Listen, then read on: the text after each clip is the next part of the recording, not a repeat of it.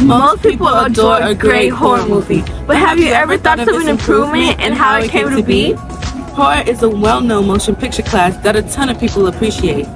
This genre has been around since the late 1800s and its main focus is to induce a sense of fear within the viewer through startling pictures, topics, and circumstances. Audiences love this because it's exhilarating. The horror genre has influenced the film industry and society to this day. The first version of horror movies were primarily introduced in the late 1800s as moving pictures. One of the first horror films was a three-minute long movie about a demon named Mephistopheles that created different supernatural characters from a magical cauldron. Movies like this were inspired by ancient Greece and ancient Rome. They were based around death, evil spirits, and the afterlife. One example of these stories is the ancient Greek tragedy Hippolytus by Euripides. This is an interesting tale about a man who suffers from desire and how it results in something unfortunate. In the 1900s to 1920s, supernatural themed films came, and at the same time, the genre was given the name horror. In Merriam-Webster's Word History Dictionary, they state horror comes from a Latin verb meaning to bristle or to shudder. The idea being that a horrified person's hair stands on end. Horror was used as the name of the genre to show how the viewer would feel when watching these movies. The 1900s through 1930s marked the border between silent and the talkies. With the silent movies, there were great titles like The Hunchback of Notre Dame and Nosferatu. Because there wasn't any sound in these movies, movie writers had to get creative with different themes and unique effects. However, when the talkies came and horror genre got more innovative, they were able to have better jump scares and heighten the sense of danger with eerie music. In the 1940s through 1950s, with the fear of nuclear war, zombies, and radioactive mutations become a widely used theme in horror movies at the time. From 3D glasses to paid actors and the audience director tried any and everything to further scare the viewers. However, this idea was stopped due to large expense. Starting in the late 60s, America's craved gore and slasher movies. Creating these movies were much cheaper than the techniques before. So, directors and screenwriters continue to make them till this day.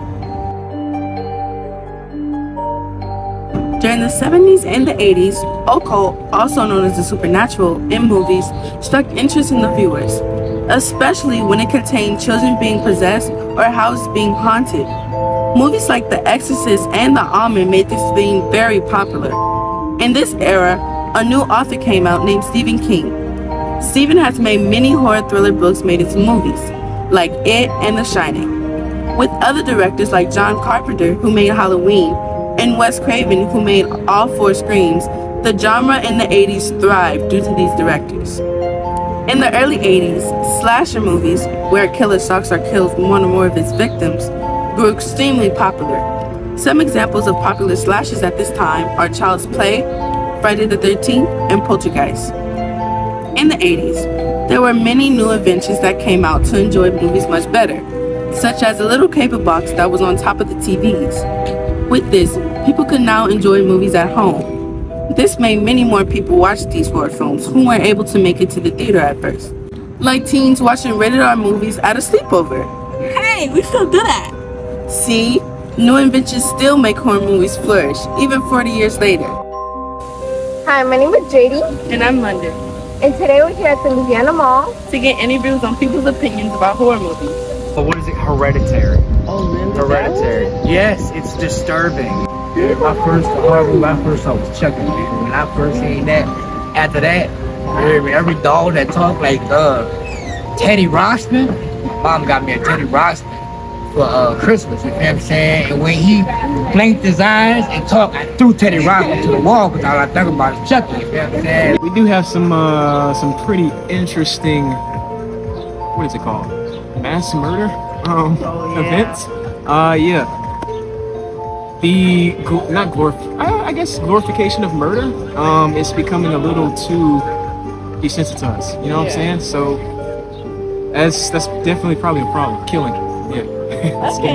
in the industry, the more you have like horror movies and you try to up the ante and like meet expectations for you know to meet box office sales and stuff like that you always have to outdo what you did last time and i think that just introduces this kind of element of like where do we draw the line at some point so you know it, it's, it's something that a lot of people i feel like got to think about more whenever they go into this especially like creating because there's different ways of creating horror but a lot of time they're going to take the easy way out and just have a lot of you know gore murder you know and terrible ways of dying and things of that nature so yeah. called the happening i guess all the plants came alive and they start releasing pheromones and the people were killing each other from the plants and everything yeah I, whenever i go outside i never look at the plants the same i just go around the grass us that movie us with those two people I swear to God, I could not sleep the whole night. Like the whole night, I thought somebody was coming for that.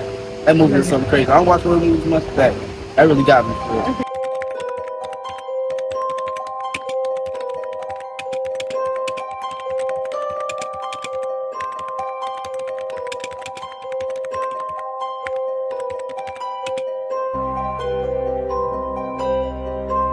From the 90s through 2000, CGI came and horror movies weren't as popular as they were before.